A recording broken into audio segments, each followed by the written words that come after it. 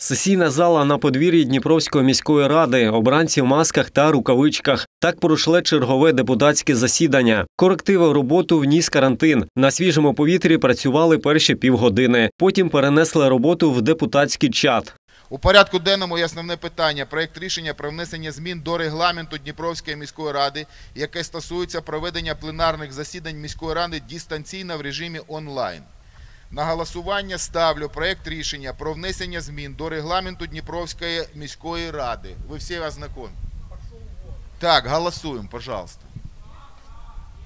Основне питання сесії: як убезпечити місто та його мешканців від коронавірусу. У Дніпрі на цю недугу вже перевірили 21 людину. У двох результат позитивний. Вони зараз на лікуванні. Ще двоє чекають результати тестів. У 17 діагноз не підтвердився. В міськраді запевняють, вживають всіх заходів, щоб запобігти поширенню інфекції.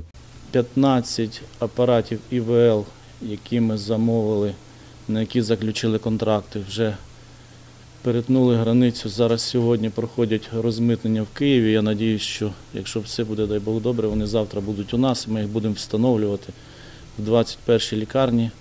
Інші 20 івелів ми чекаємо поставки в перших числах квітня.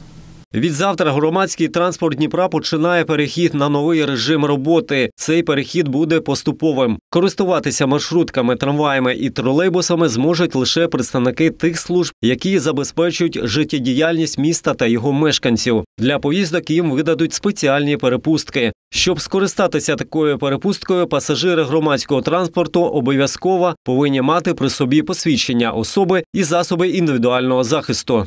Мы понимаем, что до завтра все получить э, специальные э, билеты не смогут, потому э, в- вводиться режим проверки непосредственно этих билетов будет с понедельника. Також депутати ухвалили низку змін до програми співфінансування ОСББ і ЖБК.